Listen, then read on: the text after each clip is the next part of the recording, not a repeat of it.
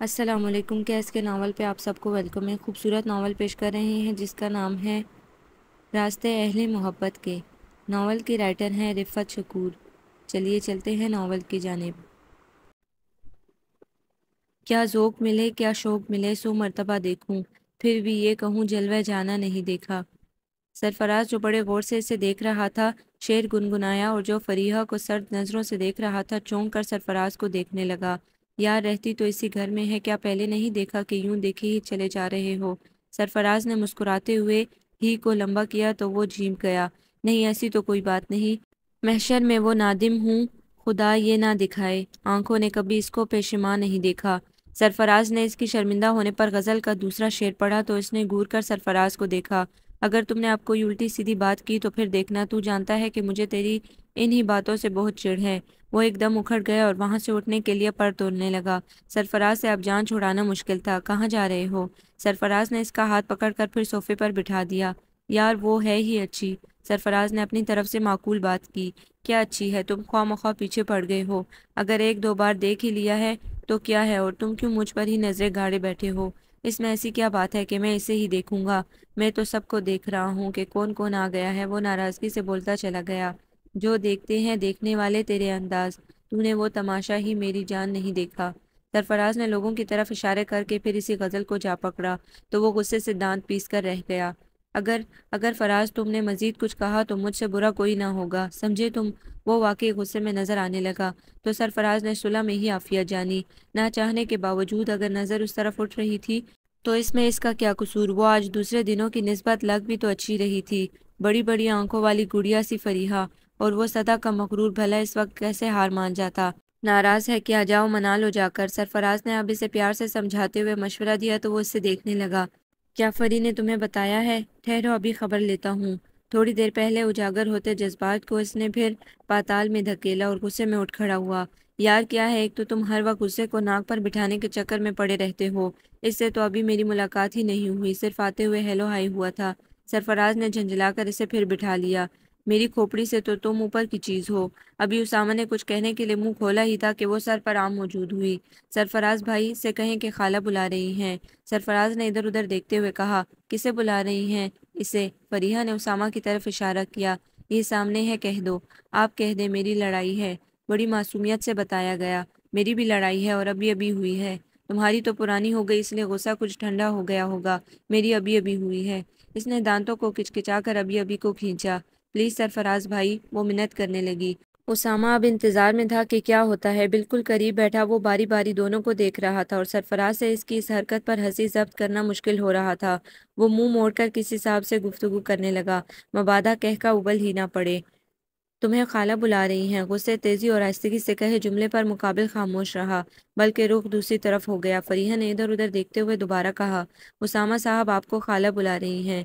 वो जब नाराज़ होती तो साहब लगाती थी। सुन लिया है, आ जाता हूँ। पता नहीं कहाँ से मुसीबत नाजिल हो गई है। वो गुर्राया आवाज़ चाहने के बावजूद धीमी ना रख सका। मालूम नहीं इसने खुद को जुटलाया था या इसे।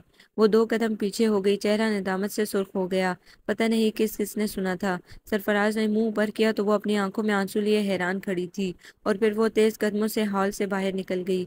सरफराज ने उसामा को घूरा तो इसकी तंबी नज़रों से बचने के लिए वो भी फ़ौरन उठ खड़ा हुआ और बड़े बड़े कदम उठाता बाहर निकल गया। अंदर ही अंदर कहीं निदामत हो तो क्या मालूम बज़ाहिर ऐसा कुछ नहीं था।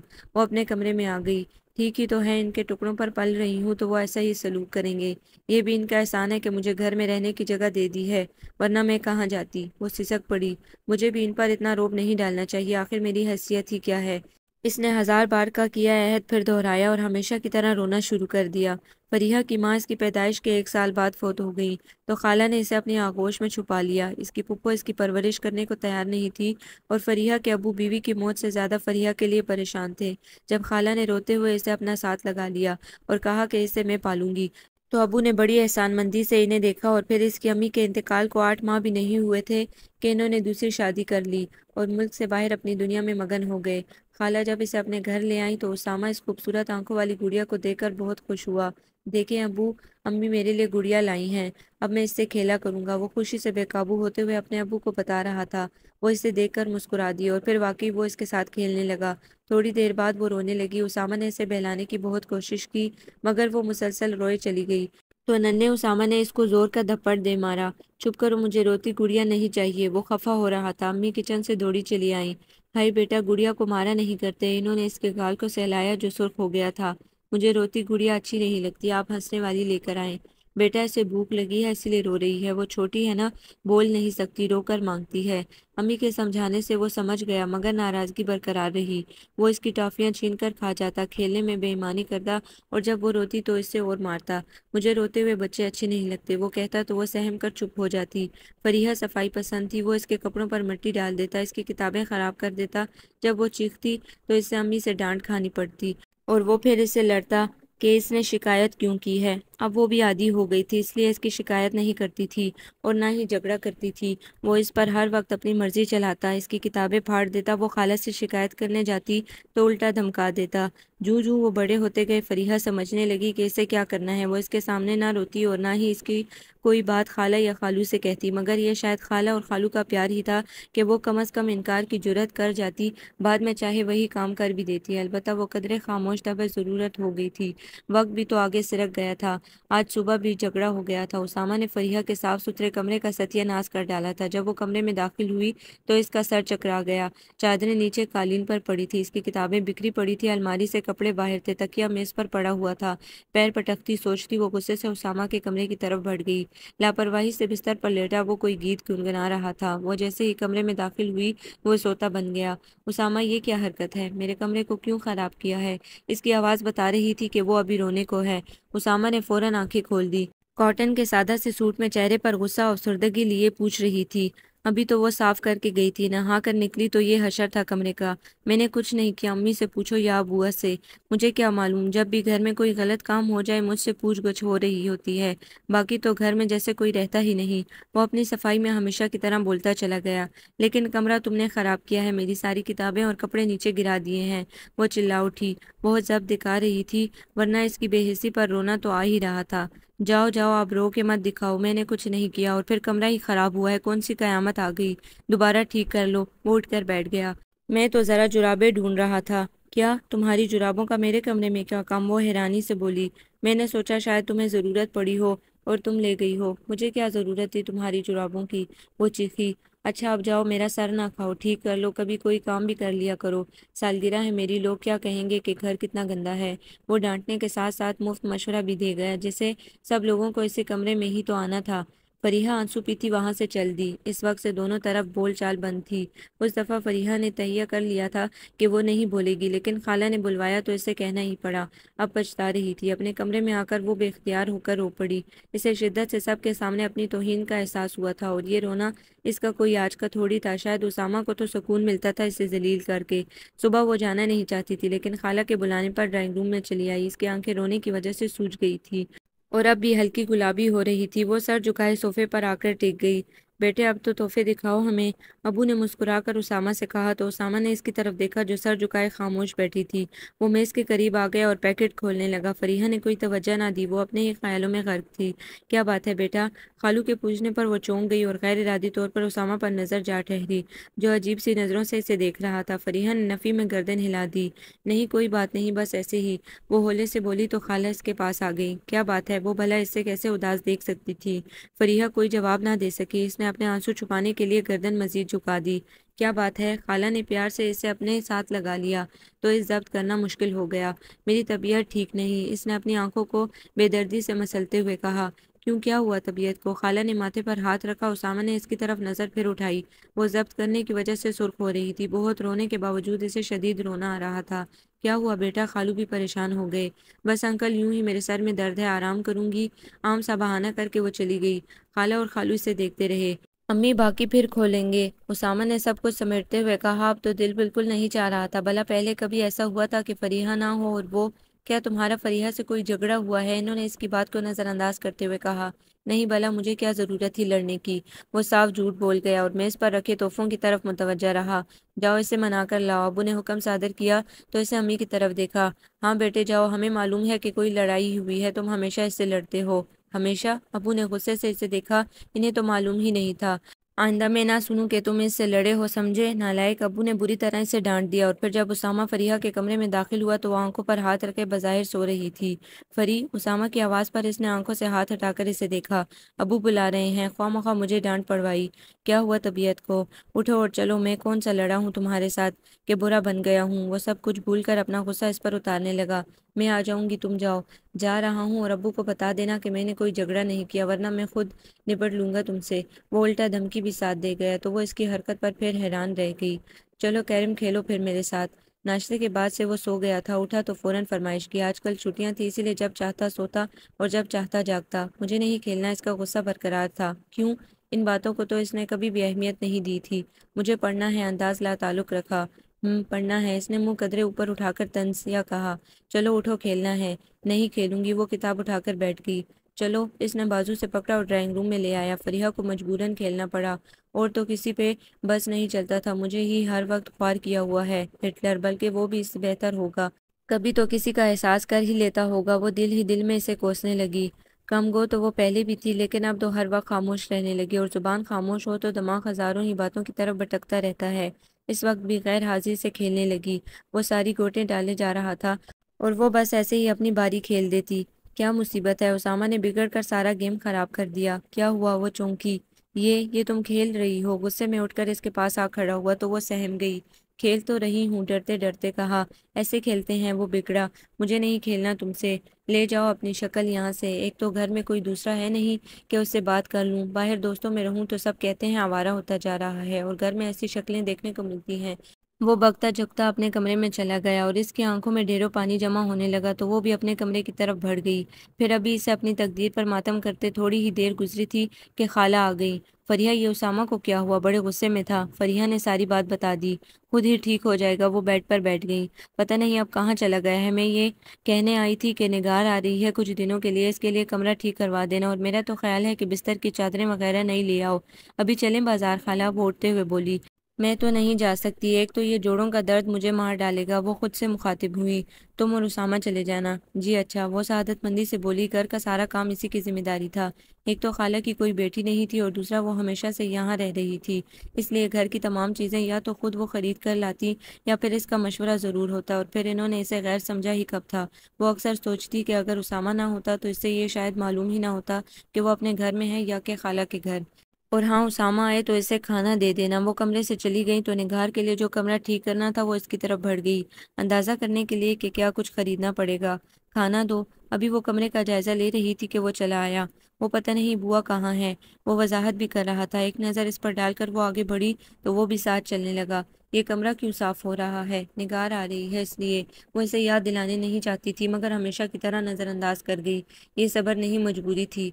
अच्छा वो चचा नुमान की बेटी। हाँ वो किचन की तरफ़ बढ़ी और वो वहीं डाइनिंग टेबल की कुर्सी खिसका कर बैठ गया। कितने दिन रहेगी? पता नहीं, वो किचन से बोली। इसने उसामा के सामने खाना रख दिया और साथ वाली कुर्सी पर बैठते हुए बोली, वो बाज़ार जाना था। क्यों? उसामा ने खाना खाते हुए मुँह ऊपर उठाकर देखा। घर के लिए चादरें और पर्दे वगैरह खरीदने हैं।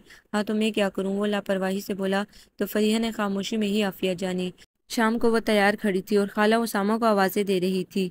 जी, वो कमरे से बाहर आते हुए बोला, तुम फरिया को ज़रा बाज़ार तक ले जाओ, ऐसे कुछ चीज़ें खरीदनी हैं। अच्छा तो ये मोहतरमा इस वक्त सिर्फ़ तमहीद ही बाँध सकी, बुजदिल कहीं की। जी अच्छा अम्मी, मैं ज़रा चाबी ले आऊँ। खाला इसे फिर हिदायत देने लगी। चलो इसने खा जाने वाली नज़रों से देखा तो वो काम गई। इस वक्त नहीं कह सकती थी तुम, मुझे आज ज़रा काम भी था। वो गुस्से से कहते हुए गाड़ी में बैठा जल्दी जल्दी ख़रीदारी करना, अगर देर की तो वहीं छोड़ कर आ जाऊँगा। इसने इस बात में सर हिला दिया। वो कई दुकानों में गई, लेकिन कोई कपड़ा पसंद ही नहीं आ रहा था। अब कोई ख़रीद भी चुको।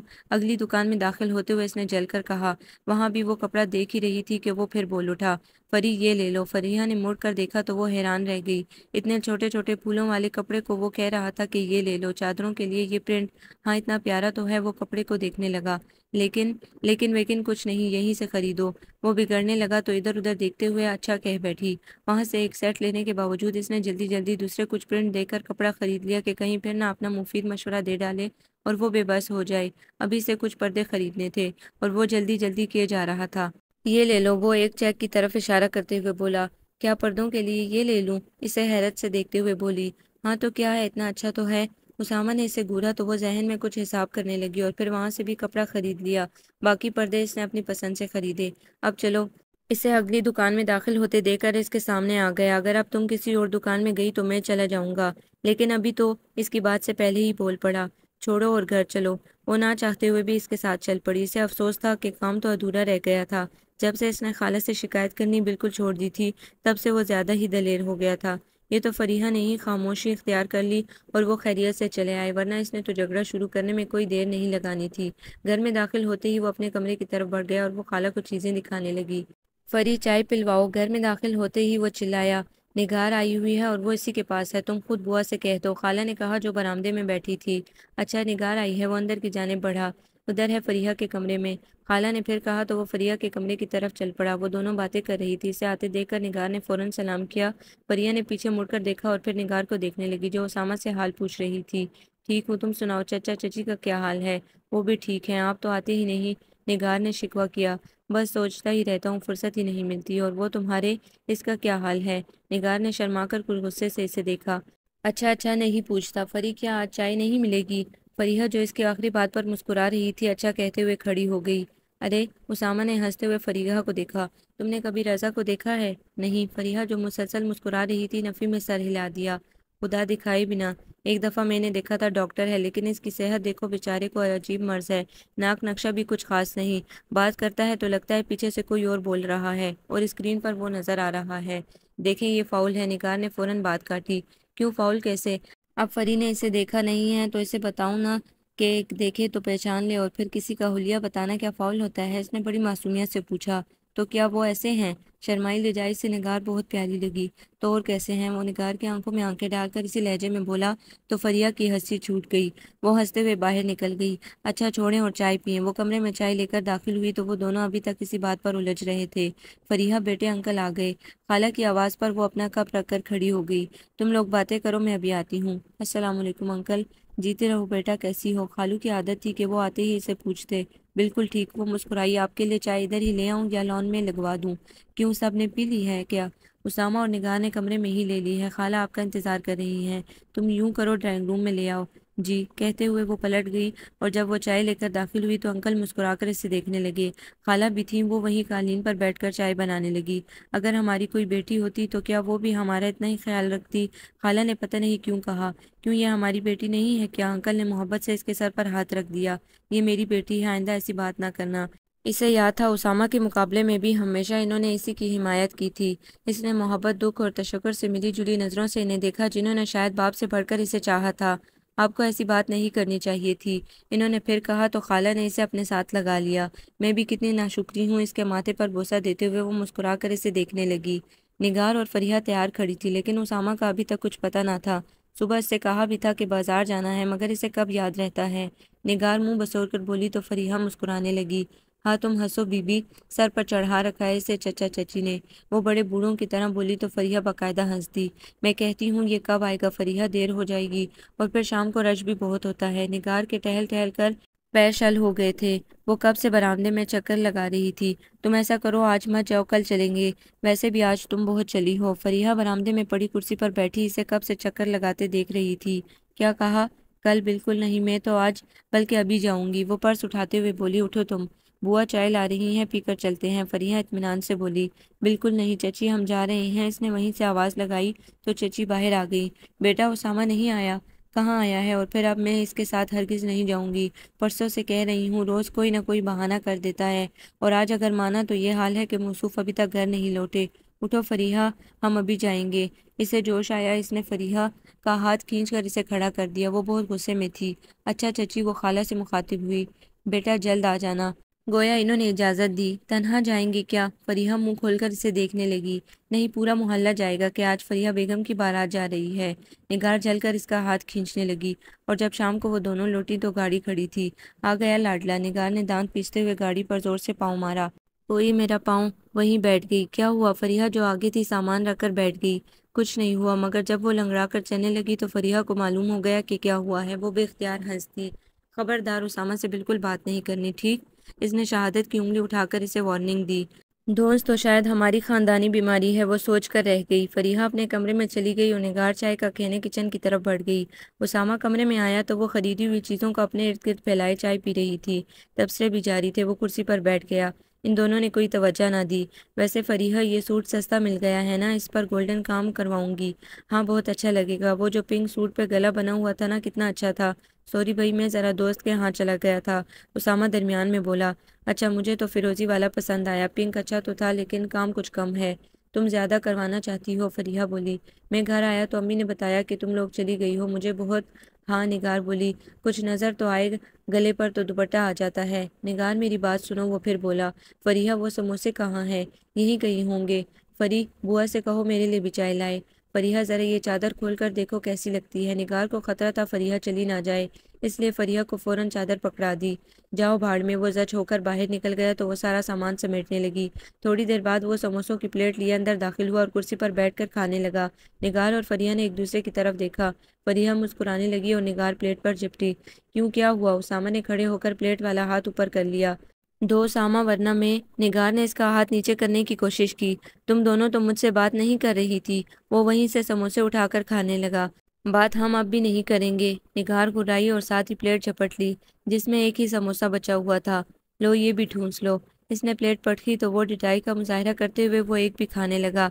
निगार फरीहा को इशारा करते हुए बाहर निकल आई। अरे बाबा, मेरी बात तो सुनो। अच्छा फरीहा, तुम ही सुन लो। वो पीछे लपका। फरीहा ने पीछे मुड़कर देखा, मगर निगार ने इसे खींच लिया। मैं कल तुम लोगों को बाज़ार ले जाऊँगा। वो निगार के सामने आ खड़ा हुआ। हमें कल बाज़ार नहीं जाना। वो एक एक लफ्ज़ चबाकर बोली। वो गला नहीं बनवाना, इसने इनकी बातें बड़े गौर से सुनी थी। हम खुद भी जा सकते हैं, निगार एक तरफ़ से निकलते हुए बोली, गले की बनवाई मैं दूँगा, जल्दी से कहा, हैं, निगार पलटी। हाँ इसने वही अंदाज अपनाया। आइसक्रीम भी खिलाओगे, वो बहुत जल्द मान गई थी। क्यों वो, क्यों भाई? समोसे जो खाए हैं। चलो ठीक है, बेचारगी से लंबा सांस बाहर निकालते हुए वो भी मान गया। और फरीहा सोचने लगी कि निगार को मनाने की कैसे कोशिश कर रहा है, और मैं जो कुछ कहूँ तो उल्टा डांटता है। और ऐसी बात मैं सोच भी नहीं सकती। अंदर कहीं कोई ख्वाहिश थी शायद। खून के रिश्ते अपनी जगह अटल होते हैं। भला मुझसे क्या रिश्ता? मेरा रिश्ता तो सिर्फ़ खाला तक ही है ना? जिनका ताल्लुक था रिश्ता था, इन्होंने तो कभी पूछा नहीं। हाँ पुप्पो को कभी याद आ जाए तो चली आती हैं और तो कोई भी नहीं। मुझे तो ये भी मालूम नहीं कि कितने बच्चे हैं, कैसा घर है। कभी पुप्पो ने भी नहीं कहा कि फरिया, हमारे घर भी चली आओ और रहे अबू तो इन्होंने कभी पलट कर देखा ही नहीं कि मर गई है कि ज़िंदा है। खुदा के पूछते, क्या करती हैं, कैसे करती है? अरे, तुम क्या सोचने लगी? निगार के बोलने पर वो चौंक गई। कुछ नहीं, बस ऐसे ही। ये सोच रही है कि मैं ख्वा मुखा नाराज़ हुई। तुमने तो पूछा ही नहीं कि सुलह करनी चाहिए कि नहीं। वो तंजिया हंसा। जी नहीं, हम में इतनी दोस्ती है कि एक दूसरे पर अतमाद है निगार अखड़ी अतमाद उसामा हंस दिया और वो शर्मिंदा हो गई। आज सुबह से ही वो मसरूफ़ थी। कल से कॉलेज जाना था, छुट्टियाँ ख़त्म हो गई थी और वो चाहती थी कि घर की सफ़ाई भी हो जाए और सुबह की तैयारी भी। निगार भी लगी हुई थी, लेकिन अब इसने कह दिया था कि मुझमें मज़ीद हिम्मत नहीं। अरे बस भी करो, वो दोबारा अपने कमरे में आई तो निगार ने हाथ पकड़ लिया। बस अब यही कमरा रह गया। वो बैठते हुए बोली, बुआ कर लेंगी, मैं तो सुबह से बोर हो गई हूँ। पता नहीं तुम किस मिट्टी से बनी हो। चलो उसामा के कमरे में चलते हैं। तुम चलो, मैं आती हूँ। अलमारी खोलते हुए बोली, अरे चलो भी नखरे देखो। वो इसका हाथ पकड़ कर घसीटने लगी। उसामा चलो कैरम खेलते हैं। निगार अंदर दाखिल होते ही पलंग पर बैठ गई। हाँ चलो बोटते हुए बोला। कहाँ? यहीं ले आओ। वो कमरे को देखते हुए बोली, अरे ये पर्दों और चादरों का प्रिंट कैसा है? क्यों क्या हुआ? उसामा ने भी गौर किया। ये तो वही चादरें और पर्दे थी जो इसने फरिया के साथ खरीदे थे। वो इसकी तरफ़ देखने लगा। ये तुमने किया है? इसने पूछा। हाँ तुमने खुद ही तो डिज़ाइन पसंद किया था, वो खूबजदा हो गई। अभी तक तो इसने निगार के सामने कुछ नहीं कहा था और वो शुक्र करती रही, मगर अब शायद डिज़ाइन पसंद किया था। निगार जेर लब मुस्कुराई। तो ये है तुम्हारी पसंद। वो अपना बदला भी उतारना चाहती थी। हाँ मेरी पसंद है। तो तुम्हारे ख्याल में चोरी की है? वो बिगड़ा। ऐसा प्रिंट तो कोई चोरी भी ना करे। अभी तो ऐसे लोग पैदा नहीं हुए। इक्कीसवीं सदी में हो जाएँ तो मालूम नहीं कि पर्दों और चादरों के लिए ऐसा नमूना पसंद करें। और जो नमूना तुमने पसंद किया है, उसके इक्कीसवीं सदी में भी पसंद किए जाने के चांसेस नहीं। क्या मतलब? वो वाकई नहीं समझी, तभी तो हैरत थी लहजे में। मतलब रज़ा, वो इसके करीब जाकर कान में बोला तो निगार ने फरिया की तरफ़ देखा जो अभी तक पर्दों और चादरों में उलझी हुई थी। किसी ने नहीं सुना। फिर इसने कदरे ऊँची आवाज़ में कहा, परी, कल कॉलेज जाओगी? जी, जवाब मुख्तसर था।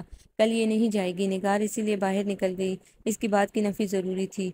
फिर निगार चली गई। इसने अपनी शादी में आने का इसरार किया और जाते हुए वादा लिया कि वो ज़रूर आएगी। निगार जब भी आती, फरीहा को लगता जैसे वो खुद इस घर में मेहमान हो गई हो। वो मालिक की तरह रहती और इसकी शख्सियत मज़ीद दब जाती, मगर फिर भी इसका आना इसे बहुत खुशी देता था। निगार भी इससे बहुत मोहब्बत करती थी। इसकी शौक और चंचल तबीयत से घर पर रौनक सा हो जाता। इसका आना जितनी खुशी देता, जाना ही इतना ही उदास कर देता और फिर इसकी वजह से वो काफ़ी हद तक उसामा के अताब से बचती रहती। फरी, चलो खेलते हैं। अभी वो बर्तन समेट रही थी कि उसामा सर पर आम मौजूद हुआ। मेरा कल टेस्ट है, मैं पढ़ूँगी। आज वाकई इसे पढ़ना था। क्या फ़ायदा पढ़ने का? फेल तो तुमने होना ही है। खुदा ना करे कि मैं फेल हूँ, वो दहल गई। अच्छा चलो खेलो, मेरे साथ में बोर हो रहा हूँ और वो इसकी तंजिया बातों से बचने के लिए इसके साथ चल दी आ गया हूँ तुम्हारे घर में खुदा की कुदरत से और बचकर चला जाऊँ, ये मेरी किस्मत है।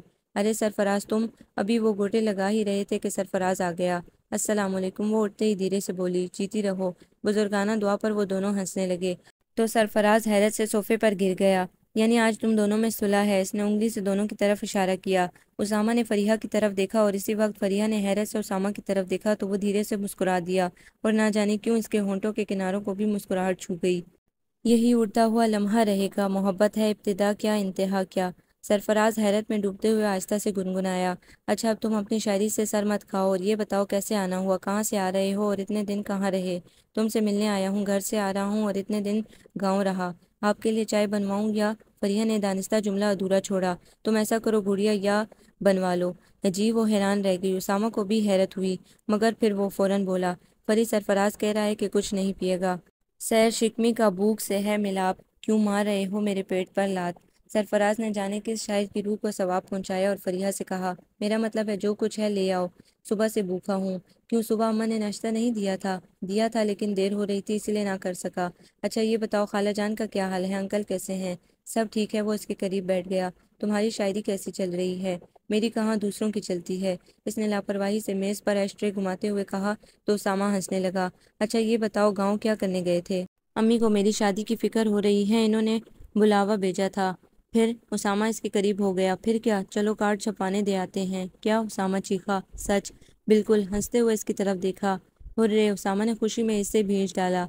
आराम से, यार, पसलियाँ ना रहीं तो इनकार हो जाएगा। और इनकार हो गया तो फिर मैं वैसे का वैसा रह जाऊँगा।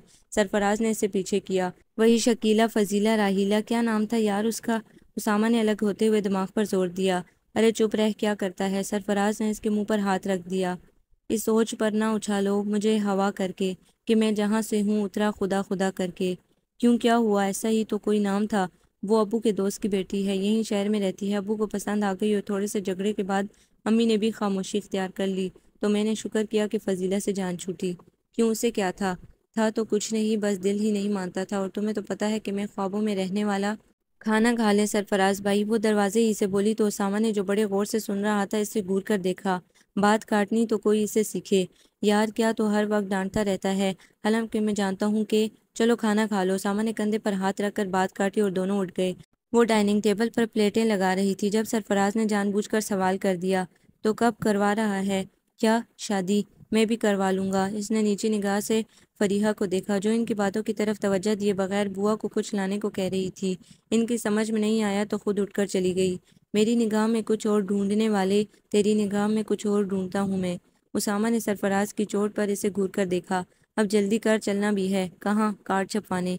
मेरा दिमाग ख़राब है कि छः माह पहले कार्ड छपवा लूँ। सरफराज उठने लगा। क्या? उसामा ने हैरत के बाद इसे मारने के लिए मुक्का ताना मगर इसके एक तरफ़ हो जाने की वजह से मुक्का सीधा कुर्सी पर लगा। सरफराज कहकर लगाकर हंस पड़ा और उसामा कसियाना सा मुस्कुरा दिया। फरी यूनिवर्सिटी में तकरीब है, तुम चलो मेरे साथ। मैं नहीं जा सकती, कॉलेज जाना होता है। अरे चलो, इसी बहाने यूनिवर्सिटी भी देख लेना। पता नहीं, दोबारा नसीब में हो ना हो। क्या कह रहे हो? क्यों ना हो नसीब में? हर वक्त इसकी पढ़ाई के पीछे पड़ा रहता है। खाला ने डांटा पढ़ूँगी तो यूनिवर्सिटी तक जाऊँगी ना। वो आराम से बोला, वो बहस में नहीं पढ़ना चाहती थी, इसलिए होन भींजे खामोश रही। उसामा पहले भी इसे कई बार कह चुका था और वो हमेशा टाल जाती, इसे ख्वाम ख्वा जाना अच्छा नहीं लगता था। लेकिन वो जानती थी कि अगर जिद में आ गया तो फिर वो इनकार ना कर सकेगी और शायद आज ही वो दिन था। तो मेरे साथ ज़रूर चलोगी समझी? आखिर ये हर बात पर ना करना तुम फ़र्ज़ क्यों समझती हो? कॉलेज से छुट्टी हो जाएगी, कमज़ोर सा एहतजाज हुआ। मैं आइंदा तुम्हें कॉलेज नहीं ले जाऊँगा। इसने धमकी दी। वो सुबह इससे जाते हुए कॉलेज ले जाता और वापसी पर ले आता। इसीलिए रोप डाला। वो खामोश हो गई, जिसे वो हाँ ही समझा और वो कर भी क्या सकती थी। इसीलिए अब तैयार खड़ी इसका इंतज़ार कर रही थी। जो न जाने इतनी देर से कमरे में क्या कर रहा था। लड़कियों को भी मात कर दिया इसने। बड़बड़ाती वो बरामदे में पड़ी कुर्सी पर बैठ गई। अरे तुम अभी तक तैयार नहीं हुई। घड़ी पहनते हुए वो आंधी तूफ़ान की तरह कमरे से बरामद हुआ। तैयार हूँ, वो चलकर बोली। अच्छा उसामा ने इस पर भरपूर नज़र डाली। हल्के सब्ज रंग के प्लेन सूट में लंबे बालों की चुटिया किए, वो बिल्कुल आम दिनों की तरह लगी। अच्छा चलो, वो गाड़ी की तरफ़ बढ़ते हुए बोला। गाड़ी से उतरकर वो घबराई हुई सी उसामा के साथ चलने लगी। इतने सारे लड़के और लड़कियों को देखकर वो कुछ सहम गई। इसे शुरू से अलग रहने की आदत थी, इसलिए कॉलेज के भी किसी कोने में जा बैठती। लड़कियों से भी वो मेल जोल ना रखती थी। उसामा इतनी देर कर दी, यार, इसके ग्रुप में से कोई बोला? नहीं, देर तो नहीं हुई, वो सबसे हाथ मिलाते हुए बोला। उसामा, ये तुम्हारे साथ है, कोई लड़की बोली थी। कौन? उसामा ने मुड़कर देखा, लड़की ने फरिया की तरफ़ इशारा किया। नहीं तो उसामा का जवाब सुनकर वो धक से रह गई। अच्छा तुम्हारे साथ आ रही थी तो मैं समझी कि लड़की खामोश हो गई और इसका दिल चाह चीख चीख कर रो दे। इसे एकदम तोहीन का एहसास हुआ, कैसा बदतमीज था, जलील करके रख दिया। अब मैं क्या करूँ, कहाँ जाऊँ, वापस चली जाऊँ? मगर कैसे, मैं तो अकेली कभी नहीं गई। अगर इसे कहूँ तो पता नहीं क्या क्या कह दे, कि मेरे घर रहती है बेचारी का कोई नहीं। ऐसे जुमले वो इन सब में नहीं सुनना चाहती थी। हसब मामूल वो बहुत ज़्यादा परेशान हो गई। इसे गुस्सा भी बहुत आ रहा था और रोना भी। आँख उठाकर उसामा को देखा अपनी बातों में, मगन किसी की बात पर हंसता इसे जहर लगा। अल्लाह मियाँ तो इससे क्यों नहीं पूछता? इसे भी तो पता चले ख्वार होना कैसा होता है। इसने बेबसी से इधर उधर नज़र डाली। सब खुशबाश चेहरे देखकर इसे और भी कमाईगी का एहसास हुआ। इतना कम हिम्मत भी इंसान ना हो, जैसे मैं बुद्धू उल्लू अब इसने दिल में अपने आप को कोसा, पता नहीं इसे कितनी देर कुटते हुए गुजर गई। मेरे ख्याल से कार में बैठ जाऊँ, कभी तो आ जाएगा। इसने अपनी तरफ़ से बड़ा अहम फैसला किया। वो शुरू से ही बुजिल थे, अपने किसी फैसले पर इसे कभी एतमार नहीं था। हेलो, अभी इसने जाने के इरादे से पीछे मुड़कर देखा था कि खुश लिबास, खूबसूरत सा लड़का इसकी तरफ़ बढ़ा। जी, जल्दी में यही सिर्फ़ मुँह से निकल सका तो वो मुँह नीचे करके अपनी हँसी छुपाने लगा। पहली दफ़ा आई हैं, इसने हमदर्दी जताई। जी, धीरे से जवाब मिला और न जाने वो क्यों इसे देखने लगा। ओ, ब्यूटीफुल। जी, फरिया ने हैरत से इसे देखा। कुछ नहीं, वैसे कहाँ रहती हैं आप? जी, इसकी हैरत बजा थी एक बात बताएँ, वो पेंट की जेबों में हाथ डालते हुए कदम आगे आ गया। आपको जी के अलावा भी कुछ आता है? मेरा मतलब है कुछ और भी बोलती हैं। जी, ये वाली जी, अब ज़रा लंबी हुई, इसे गुस्सा भी था, ये नई मुसीबत है, वो दिल ही दिल में बड़बड़ाई के जाने, वो अब इससे क्या बात करे? इनसे मिलो, ये है मेरी कज़न फरीहा और फरी, ये मेरी क्लास फेलोज़ इसने कदम बढ़ाई था कि उसामा अपने पूरे ग्रुप समेत इसकी तरफ़ आ गया। हेलो हाय अस्सलाम वालेकुम और न जाने किन किन ज़ुबानों में इसे सलाम किया गया, वो सिर्फ़ मुश्किल से मुस्कुरा सकी। अभी तो तुम कह रहे थे कि कोई लड़का बोला था, मैंने कुछ नहीं कहा था, वो दूसरी तरफ़ मुड़ा। क्या करती हैं आप? एक लड़की ने हाथ मिलाते हुए कहा उसने हाथ थाम लिया और मुस्कुराते हुए बोली, पढ़ती हूँ। आयशा को देखकर दूसरी लड़कियाँ भी आगे आईं। परिया ने सबसे हाथ मिलाया। कुछ लड़के भी रस्मन गुफ्तगु के बाद अपने अपने साथियों के साथ बात करने लगे। पता नहीं इसके ग्रुप में इतने लोग क्यों थे या फिर वो लीडर वीडर था कोई। चलो ना सब लोग, प्रोग्राम शुरू हो जाएगा। किसी के याद दिलाने पर हलचल सी मच गई। आप भी चलिए ना, पता नहीं कौन थी जिसे इसका ख्याल आ गया था। वो भी सबके साथ पढ़ने लगी। इसे उसामा पर गुस्सा आ रहा था। दूसरा, वो खुद अपनी आदत से मजबूर थी। कुछ उसामा के डर से खामोश थी। आज ज़रा ये घर चले खाला से ज़रूर शिकायत करनी है। वो पक्का इरादा कर चुकी थी। प्रोग्राम भी इससे ना देखा गया। बड़ी खूबसूरत है तुम्हारी कज़न। बाहर आने पर किसी लड़की ने शायद अब इस पर निगाह डाली थी। अच्छा उसामा ने फरिया को ऐसे देखा जैसे अब से पहले कभी ना देखा हो तो सब मुस्कुरा दिए। फरिया जानती थी इसे घर चलने के लिए कहना बड़ों के छत्ते को छेड़ने के मुतरद था। वो खामोशी से बोर होती रही।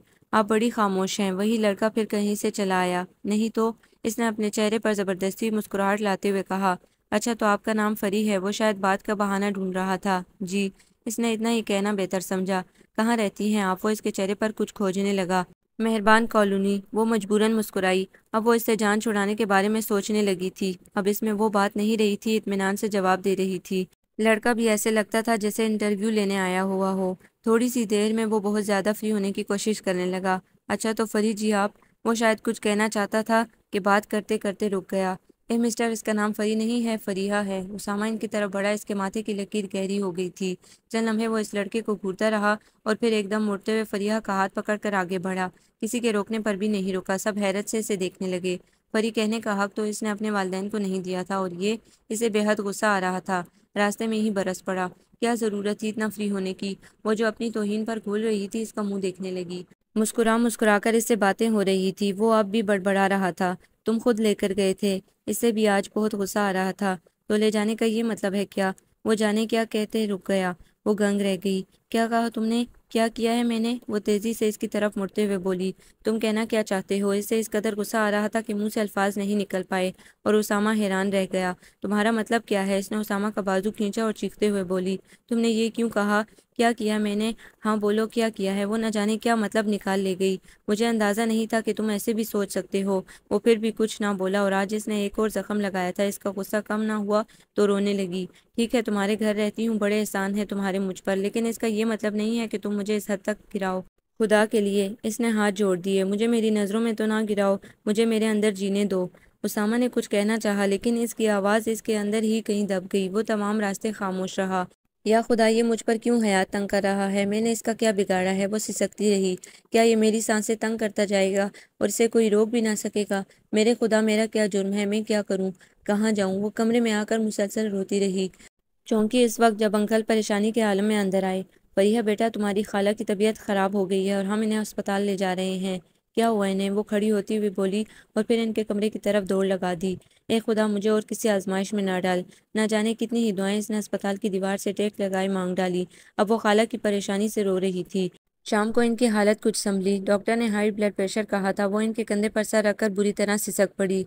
अरे, रो क्यों रही है? उल्टा खाला ने तसल्ली दी। अगर आपको कुछ हो जाता तो मेरा क्या बनता खाला? मैं कहाँ जाती? मेरा कौन है आपके सिवा? मैं मैं तो मर जाती वो रोते हुए और न जाने क्या कह गई। उसामा चुपचाप टुकटुकी बांधे से देखता रहा और खाला एकदम कुछ और सोचने लगी। वो शायद ठीक कह रही थी और खाला की इस सोच का नतीजा ये निकला कि अगली सुबह ही वो उसामा की मनकूहा थी। ये सब कुछ इतनी जल्दी हुआ कि वो दंग रह गई। इसे कुछ मालूम ना था कि इसने कैसे साइन किए। तकदीर की इस अदा पर वो इस कदर हैरान थी कि इस इनकार और इकरार का एहसास नहीं हो सका और फिर खाला कह रही थी, बेटा, रुखसती तुम्हारे बाप के आने या इनसे पूछने के बाद होगी। पूछना क्या आप भी कोई गुंजाइश है पूछने की और रुखसती ये क्या चीज़ है? सिर्फ़ अपने कमरे से, उसामा के कमरे तक को रुखसती कहते हैं। सारी ज़िंदगी वो शख्स के साथ गुजारेगी जो इससे मोहब्बत दरकिनार इसे पसंद भी नहीं करता, जिसे इसमें हज़ार नुक्स नज़र आते हैं। जो उठते बैठते तंज के सिवा कोई बात नहीं करता, जो इसे किसी के सामने जलील करने का मौका हाथ से नहीं जाने देता, इसे नीचा दिखाने के लिए हमेशा कमर बांधे रखता है और वो खुद ऐसी ज़िंदगी आगे नहीं गुजार सकती। इसे खुशियाँ ना सही इतमान ज़रूर चाहिए। लाशूरी तौर पर शायद इतनी तस्लील आने वाले अच्छे वक्त के लिए बर्दाश्त की, इसी उम्मीद पर कि दिन गुजर ही जाएँगे और अब तो उम्मीद ही ख़त्म हो गई थी। खाला के इतने एहसानात थे कि वो मर कर भी नहीं उतार सकती थी। इनकार तो दरकिनार, वो अपने रवैये से भी कम अज़ कम इन्हें दुख देना नहीं चाहती थी। अब क्या होगा? क्या करेगी? इसकी समझ में बिल्कुल नहीं आ रहा था। सोच सोच कर दिमाग फोड़ा बन गया था। इसे इन तीन दिनों में इसकी हर बात याद आई हर वो सलूक जो इसके साथ रवा रखा इसे याद था। सरफराज की बहन की शादी पर वो और उसामा ही गए थे। जब सरफराज की माँ ने इसके बारे में पूछा तो बताया, बेचारी का कोई नहीं, हमारे घर रहती है। बाप छोड़कर चला गया और पता नहीं क्या कुछ कहता रहा और वो शर्म से बस मर ना सकी और चुप हुआ भी तो सरफराज के टोकने पर। उसामा, कितने जलील इंसान हो तुम। क्यों मासूम की छोटी सी जान पर तुम्हें तरस नहीं आता? अम्मी, ये इसकी खाला की बेटी है। ऐसे कई वाक़ात थे जो इसके जहन के गोशे में महफूज थे। इससे पहले इसने ये सब कुछ याद नहीं किया था। पता नहीं इसे, इस बंधन के या यूनिवर्सिटी के उस वाक़े के बाद वो क्यों इसका हर लहजा याद कर रही थी। इस दौरान इसे अपने बाप पर भी बहुत गुस्सा आया, जिन्होंने पलट कर देखा ही नहीं कि बेटी कैसी है। अपनी नई दुनिया में गुम हो गए और फिर खुद इसे यहाँ कोई तकलीफ़ नहीं हुई सिवाय उसामा के। वो कुछ दिन पहले तक इस उसामा की वजह से यहाँ से इस घर से अपने चाहने वाली खाला और खालू से दूर जाना चाहती थी और अब इस घर में रहने का वो वाहिद हवाला बन गया। लेकिन इसे एकदम ख्याल आया, उसामा ने कैसे हाँ कर दी? और फिर मुतमिन भी था शायद खाला की वजह से। इसे भी यकीनन नहीं पूछा गया होगा, वरना वो ज़रूर इनकार कर देता। वो इनकार कर सकता था, इतना मुजदिल तो वो कभी भी नहीं था। शायद खाला की बीमारी की वजह से वो अब दूसरी नैच पर सोचने लगी। चलो बेटी, घर चलें, छुट्टी हो गई है। खालू ने कमरे में आते हुए कहा तो वो तमाम सोचों को झटक कर चीज़ें समेटने लगी। खाला को इनके कमरे में लिटाते हुए नरमी से इनका माथा छुआ। खाला आप तबीयत बिल्कुल ठीक महसूस कर रही हैं ना आप हाँ बेटा, मैं तो बेहद खुश हूँ। जब गई थी तो बेटी मेरे साथ थी और आई हूँ तो बहू। खाला ने प्यार से उसामा को देखा, वो मेज़ पर दवाइयाँ रख रहा था। इसने वहीं से रुख मोड़कर फरीहा को देखा, जो बेतासुर चेहरे से सर और आँखें झुका गई थी। मिलके कपड़े सूजी हुई आँखें, चेहरा कुछ ना कहते हुए भी बहुत कुछ कह रहा था। अच्छा अम्मी, ये आपकी बहू है, मैं समझा कि फरी है। उसामा ने अपनी तरफ़ से मज़ाक करते हुए शरारत से इसे देखा तो वैसे ही सर झुकाए कमरे से बाहर चली गई। माँ बेटा एक दूसरे को देखकर हंस दिए अब इसे तंग ना करना। खाला ने तंबी की तो इसने सर इस बात में हिला दिया। सुबह वो हसब मामूल चीख रहा था। पता नहीं, निकाह को इसने अहमियत नहीं दी थी या देना नहीं चाहता था। फरी, जल्दी करो, देर हो जाएगी। वो भी बुआ को हिदायत देते हुए बैग लटकाए बाहर निकल आई। खाला को दवा वक्त पर देना, बुआ और खाना परहेजी देना। सुबह ऐसे ही होती थी। वो बुआ को दोपहर के खाने, कपड़े धोने या फिर कोई भी और काम की ताकीद करती निकलती थी और वो जच होता रहता। गोया ज़िंदगी अपने मामूल पर लौट आई थी। निकाह ने फरीहा को जितना बेचैन किया था, इसे लगा कि उसामा इतना ही मुतमिन है, लेकिन दोनों एक दूसरे पर ज़ाहिर नहीं करना चाहते थे और शायद दोनों ही खाला की वजह से खामोश थे। बहरहाल, दिन रात अपने मामूल पर लौट आए थे और यही तो ज़िंदगी की खूबसूरत अदा है कि किसी भी वाक़े या हादसे के बाद रवा दवा हो जाती है। मुतमिन हो या ना हो, अपने रास्ते पर चल ज़रूर पड़ती है। कोई भी मोड़ इसे रुकने नहीं देता, इसे कोई भी हादसा फना नहीं कर सकता, क्योंकि फ़ना होना तो सिर्फ़ मौत के लिए है। ज़िंदगी दूसरों के रहम करम से खूबसूरत बनती है, या इसमें अपना हाथ होता है। दूसरे तो जो हयात को अजाब बनाते हैं, सो बनाते हैं। हम खुद इसे तल्ख करते जाते हैं। अगर सब्र का जज्बा ना हो तो ज़िंदगी सज़ा है। पहली सूरत में लोग आपकी ज़िंदगी गुजारते हैं, खूबसूरत बनाते हैं या अजाब। दूसरी सूरत में आप खुद अपनी ज़िंदगी को अजाब बनाते हैं। फ़र्क सिर्फ़ इतना होता है कि दूसरे किसी को आपकी वजह से तकलीफ़ नहीं होती। इसने भी दूसरी सूरत अपनाई थी। वो और किसी को चाहे दुख दे या ना दे, खाला जान को नहीं देना चाहती थी। इसलिए वो खामोश हो गई थी और फिर वो कर भी क्या सकती थी? अभी इसके निकाह को सिर्फ़ पच्चीस दिन ही गुजरे थे कि एक और वाक़ हो गया। हुआ यूँ कि वो साहब जो यूनिवर्सिटी में नाम पता पूछ रहे थे, अपनी माँ के साथ आम मौजूद हुए। वो लॉन में अपने इर्द गिर्द किताबें फैलाई महू थी कि किसी के शूज़ पर नज़र डालते हुए जल्दी से गर्दन उठाई। आप वो हैरत के समंदर में गोता जन होते हुए खड़ी हो गई। जी, मैं, वो महजूज हुआ। ये मेरी अम्मी है और अम्मी ये फरीहा। इसने तारुफ करवाया। आदाब। इसने अजीब ही कैफियत में कहा, जीती रहो। खातून ने सर पर हाथ रखा। क्या आपके यहाँ मेहमानों को बिठाने का रिवाज नहीं है? इसकी तरफ़ से मुसलसल खामोशी को महसूस करते हुए वो फिर बोला, ओ सॉरी, आइए ना, आप अंदर आइए। इसे अब एहसास हुआ और साथ ये ख्याल भी कि उसामा का दोस्त होगा और अब खैर नहीं। वो अंदर ही अंदर डर गई, अगरचे इसकी सोचों की अलगार ने डर कम कर दिया था। बड़ी मुश्किल से बेटी आपका घर मिला, ये तो पागल ही हो गया था। कल पता करके गया तो आज ले आया मुझे। वो खातून तफसील बता रही थी और वो सोच रही थी कि उसामा ने अपने दोस्त को इतना गलत पता क्यों बताया? असल बात का तो इस वक्त मिलम हुआ जब वो गुस्से में इसके कमरे में आया। देखा मैं ना कहता था, इस वक्त तो तुम मुझे कच्चा चबा जाने के दर पे थी और अब वो इसके सामने आन खड़ा हुआ। वो शेल्फ से कोई किताब निकाल कर देख रही थी, रुक गई। क्या हुआ? वो ना चाहते हुए भी सहम गई थी। पता भी है वो किस लिए आया है। वो इसके सामने डट कर खड़ा होता हुआ बोला, नहीं, फरिया ने अपने हाथ में पकड़ी किताब पर नज़र डालते हुए इसके चेहरे की तरफ़ देखा। तुम्हारा रिश्ता लेने आए हैं। वो गुस्से से इसके चेहरे को गौर से देखने लगा। क्या? इसके हाथ से किताब गिर गई।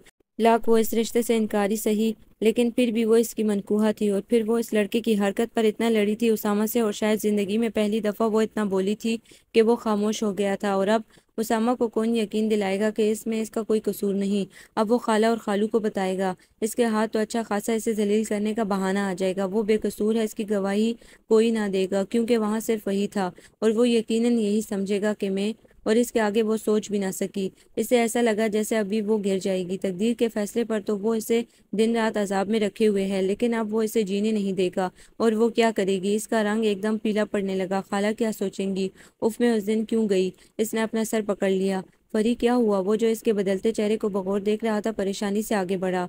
तुम तुम यकीन जानो, उसामा, इसमें मेरा कोई कसूर नहीं। इसके गले में आवाज़ दब गई। आँखें भर आई तो मैंने कब कहा उसामा ने बढ़कर इसके सर हाथ थाम लिए। वो होले होले लरस रही थी। फरी धीरे से पुकारा तो इसकी आँखें छलक पड़ी। पागल ना हो तो हल्की मुस्कुराहट इसके लबों को छू गई। इसके हाथों पर अपना गर्म मुहाफिज हाथों की गिरफ्त तंग कर दी। मैंने कब कहा कि तुम्हारा कसूर है? मुझे तो इस पर गुस्सा आ रहा है, जो बगैर कुछ जाने आन धमका। और फिर इतनी मिन्नत की कि अम्मी को निकाह के बारे में बताना ही पड़ा? तो मैं तो किसी रकीब के बारे में सोच भी नहीं सकता था। और ये साहब ख्वा मख्वाही इसने माहौल की संजीदगी को कम करने के लिए हल्का सा कहका लगाया। और वो हसब मामूल हैरान ज़रूर हुई। नोयत कुछ नहीं, बल्कि बहुत ज़्यादा मुख्तलिफ़ थी। बहरहाल, तुम क्यों परेशान होती हो? मैं हूँ ना। हैरत पे हैरत। वो आँखें फाड़े इसे टुक टुकी बांधे देखने लगी। ये तो कोई और ही उसामा है, वो तो नहीं। इतनी तब्दीली यकीनन ये किसी और चक्कर में है। भला इसे कब एतबार था और फिर इतने सालों में ये पहला मौका था कि वो इस तरह बात कर रहा था और वो भी इस वक्त जब वो अपनी मौत के बारे में सोच रही थी, चाहे वो कत्ल की हो या खुदकुशी की। तुम तो बस कभी आँखें फाड़े और कभी मुँह खोले हैरान परेशान ही हुआ करो। और तो कोई काम है नहीं। उसामा ने इसकी आँखों में देखते हुए झटके से हाथ छोड़े और बाहर निकल गया। ज़िंदगी जाने किन राहों पर आ निकली थी? वक्त ने जाने क्या लबादा ओढ़ा था कि वक्त एक नई अदा से सामने आ जाता। बीते पल न जाने इसकी ज़िंदगी को किस शहरा पर ले आए थे कि मोड़ ही मोड़ आ गए थे और हर मोड़ के बाद वो समझती कि अब ज़िंदगी मुतमिन हो जाएगी, वक्त थम जाएगा। लेकिन ऐसा कुछ भी ना होना था, ना हुआ। हर मोड़ पर एक नया वाक़ इसका मुंतज़र था। उस दिन वो सोकर उठी तो शाम हो रही थी। वो मुँह हाथ धोकर अपने बालों को ठीक करती बरामदे में निकल आई। जाने बुआ खाने के लिए क्या बना रही हैं? सोचते हुए वो किचन की तरफ़ बड़ी के खाला की आवाज़ पर कदम रोकने पड़े। जी, वो वापस मुड़ी। बेटी, इधर आओ ना। इन्होंने लॉन से आवाज़ दी थी। वो बरामदे की सीढ़ियाँ उतर कर करीब चली आई। खाला और खालू के हम उम्र एक अजनबी शख्स से बड़ी अजीब नज़रों से देख रहे थे। इसने भी फ़ौरन आदाब किया, लेकिन जवाब में वो कुछ ना बोले, बस इसे देखते रहे। फरिया बेटा इन्हें पहचाना। खालू ने मुस्कुराते हुए इन साहब की तरफ़ इशारा किया, जो अब खड़े हो चुके थे। नहीं, वो थोड़ी शर्मिंदा हो गई। बेटा, ये तुम्हारे बाप हैं। खालू ने गोया बम छोड़ा था, जो वाकई इसे लर्जा गया। बाप वो बड़बड़ाई इसने पैदाइश से अब तक इस किस्म का कोई लफ्ज़ नहीं सुना था और इतने सालों बाद मालूम नहीं इसने कभी अपने बाप से मिलने की ख्वाहिश की भी थी या नहीं। अलबत्त इसने कभी सोचा भी नहीं था कि कभी वो इसकी ज़िंदगी में यूँ अचानक चले आएँगे। वो हैरान से इन्हें देखने लगी जो कदम बढ़ाकर इसके करीब आ गए थे और अब इसका चेहरा बगौर देख रहे थे। फरिया ने बेयकीन सी नज़र इन पर डाली तो वो धीरे से मुस्कुराए और इनका मुस्कुराना इससे सुलगा गया। इससे शदीद नफरत महसूस हुई। माना कि इसने इस घर में बहुत अच्छे दिन गुजारे थे। इसे किसी कमी का एहसास नहीं हुआ था। लेकिन फिर भी वो वो घर इसका अपना ना था, वो मान तो ना था इस घर पर। खाला और खालू की मोहब्बत से वो मुनकर नहीं थी, लेकिन अपने बाप की मोहब्बत ना मिलने पर वो मोहब्बतों के एतबार तले दब गई थी। जहाँ से अब वो निकलना भी चाहती तो ना निकल सकती, और वो निकले भी क्यों? इसने मुँह फेर लिया। वो क्या होता है खाला? इसने पूछा तो खाला से था, मगर वो तीनों इसका मुँह देखने लगे। आँखों में सवाल कम और गुस्सा ज़्यादा था। खाला ने आहिस्ता से कंधे पर हाथ रख दिया। जो तहमुल का इशारा था, बेटा, मैं कसूरवार हूँ, जो चाहे सजा दो, लेकिन ऐसा ना कहो। एजाज साहब आगे बढ़े फरीहा मुँह मोड़कर खाला से मुखातिब हुई। खाला, आप ही बताएँ क्या वाकई मेरे बाप हैं। खाला के इस में सर हिलाने पर वो कदरे ऊँची आवाज़ में बोली, नहीं, खाला, बाप औलाद को छोड़कर नहीं जाते, और जो जाते हैं वो बाप नहीं होते। इसने वापसी के लिए कदम बढ़ा दिए, एक ही सांस में इसने बात ख़त्म की। अपनी तरफ़ से तकरीबन फैसला सुनाया। वो तीनों अपनी अपनी जगह खामोश रह गए। कितने ही पल गुजर गए, आखिर खाला को ही ख्याल आया। फरीहा, इन्होंने सीढ़ियों के करीब इसे जाकर पकड़ा। वो रुक कर इन्हें देखने लगी। मैं जानती हूँ बेटी, जो इस वक्त तुम पर गुजर रही है, लेकिन बेटा, कोई माँ बाप अपनी औलाद से दूर रहना नहीं चाहते। तुम्हें अपने वालिद की मजबूरियाँ समझनी चाहिए। इन्होंने आने की बहुत कोशिश की। तुम इनसे सुनो तो सही कि वो तुम्हें कितना चाहते हैं। खाला, वो मुझे नहीं चाहते। अपनी औलाद को चाहते होंगे, मेरा इनसे कोई रिश्ता नहीं। मेरा तो खाला आपसे इस घर से रिश्ता है। मैंने तो सिर्फ़ यही कुछ देखा है। मैंने जो देखा ही नहीं, महसूस नहीं किया। मैं इनसे रिश्ता कैसे जोड़ लूँ? बेटा, कुछ रिश्ते ऐसे होते हैं जो जोड़े नहीं जाते, वो खुद ब खुद जुड़े होते हैं। ऐसी ही हकीकत होते हैं जैसे ये हकीकत कि तुम मैं यहाँ खड़े हैं। खाला ने इसकी तरफ़ देखा, वो सर झुकाए खड़ी थी। बेटा, वो समझेंगे कि मैंने तुम्हें इनके खिलाफ किया है। तुम्हारे ददियाल वालों के ख्याल में हम लोग पहले ही अच्छे नहीं हैं। वो इल्तिजा कर बैठी। बेटा, मेरा मान रख लो। खाला ये आप क्या कह रही हैं? इसने सर उठाया। आप पहले कहती तो मैं इतनी बात भी ना करती। वो हार मानते हुए बोली, जा साहब आहिस्ता कदमों से चलते इनके करीब पहुँच गए थे। लेकिन खाला, मुझे तो ये भी नहीं मालूम कि इनको क्या कहना है। मैं इन्हें अबू कहूँ, बाबा कहूँ, डैडी कहूँ, क्या कहूँ? इसकी आँखों के साथ लहजा भी भीगने लगा कि एजाज साहब ने एक हल्के से झटके से इसे अपनी बाहों में ले लिया। इन्होंने इसके बालों पर बोसा दिया। इसके माथे को चूमा। वालदेन के पास औलाद को मनाने के लिए हज़ारों तरीके होते हैं। वो हर हाल में अपनी औलाद को मना लेते हैं। बगैर बोले अपनी औलाद को अपने प्यार का यकीन दिला देते हैं, क्योंकि इनका प्यार एक हकीकत है। दुनिया का सबसे बड़ा सच, फिर इन्हें क्या ज़रूरत थी कि वो अल्फाज ढूंढते रहते? और शायद वो लफ्ज़ों का सहारा लेना भी नहीं चाहते थे, इसलिए इन्होंने कुछ भी नहीं कहा। और फरीहा को तो यूँ लगा कि ज़िंदगी में पहली बार इसके पाँव के नीचे इसकी अपनी ज़मीन है, सर पर इसका अपना आसमान है, अपनी छत है। खाला सुना, आपने अबू कह रहे हैं कि वो मुझे अपने साथ ले जाएँगे। तो क्या हुआ बेटा? चली जाओ। इन्होंने इतमान से जवाब दिया। खाला, वो अमेरिका की बात कर रहे हैं। इसने अपनी तरफ़ से धमाका किया। हाँ तो मैं भी यही कह रही हूँ। खाला ने तो इतमान से कह दिया, लेकिन पास बैठा उसामा बुरी तरह चौंका। क्या कहा? बिल्कुल नहीं। क्या नहीं? खाला ने चश्मा ठीक किया। अम्मी फरी नहीं जाएगी। क्यों? बस मैंने कह दिया, ये नहीं जाएगी। तू कौन होता है कहने वाला? मैं मैं मैं हूँ। इससे कोई बात ना बन पड़ी। मैं हूँ तो मैं ही रहूँ। तो बनने की कोशिश ना करो। खाला ने इसे लताड़ा। चल फरिया अंदर चल मेरे साथ। बड़ा आया मैं मैं और खाला और खालू से अबू की पहले ही बात हो चुकी थी, इसलिए वो मुतमिन थे। लेकिन ना उसामा को बताया गया और ना इसे। अब खाला के आराम से इजाज़त देने पर वो हैरान रह गई। कमाल है, वो बहुत जज्बाती किस्म के सीन के लिए अपने आप को तैयार कर रही थी और खाला ने इतनी जल्दी इजाज़त दे दी और फिर इसने भी ना चाहते हुए फैसला कर लिया कि वो जाएगी। अम्मी फरी कहाँ हैं? उसामा माँ के पास ही बैठ गया। कितने दिन हो गए थे इससे ढंग से बात किए। अपने बाप के साथ गई है। इसके चेहरे की तरफ़ इन्होंने देखा हम्म बाप तो क्यों हर वक्त जलता रहता है? मैं क्यों जलूं? वोट कर अपने कमरे में आ गया। जब से एजाज साहब आए थे, कभी भी वो इसे घर पे ना मिलती। कभी कहीं गई होती बाप के साथ और कभी कहीं। अब तो कॉलेज भी अपने बाप के साथ ही चली जाती।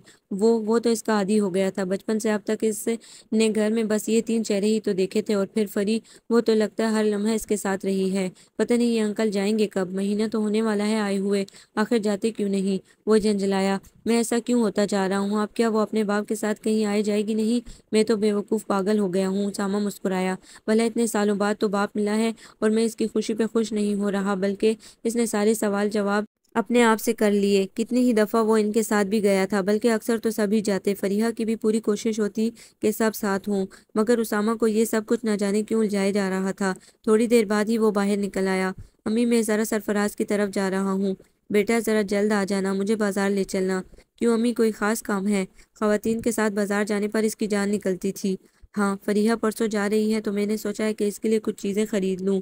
पहली दफ़ा ही जा रही है ना? इसकी माँ देखेगी तो हमारे बारे में क्या सोचेगी। खाला और भी बहुत कुछ कह रही थी, लेकिन अम्मी, वो कुछ कहते कहते रुक गया। फिर इसने फैसला किया कि वो फरी से खुद बात करेगा। फिर इस दिन उसे मौका ना मिला और दूसरे दिन भी वो इंतज़ार ही करता रहा। कभी वो खाला के पास बैठी होती तो कभी अबू के साथ जा रही होती। घर में तो इसके काम ही नहीं ख़त्म होते थे। ये सोचते हुए कि रात को बात करेगा, अपने कमरे में आ गया, मगर वो फिर भी बात ना कर सका। फरिया खाला के पास ही सो गई थी। सुबह वो बैग में अपने कपड़े रख रही थी कि वो चला आया। घर में आज गैर मामूली तौर पर हंगामा था। खाला अलग परेशान से फिर रही थी। बुआ अलहदा से हवास खोने के मूड में थी। एजाज साहब भी तैयारी कर रहे थे। सबको अपनी अपनी पड़ी थी और इसे अपनी फरी, वो इसके करीब आकर पुकारा और जो बैग में कुछ ढूंढ रही थी, सीधी होकर इसे देखने लगी। तुम नहीं जाओगी। उसामा अपने पुराने लहजे में बोला, क्यों? अलबत्ता फरीहा का लहजा नया था, जिस पर वो चौंका ज़रूर, लेकिन ज़ाहिर नहीं होने दिया।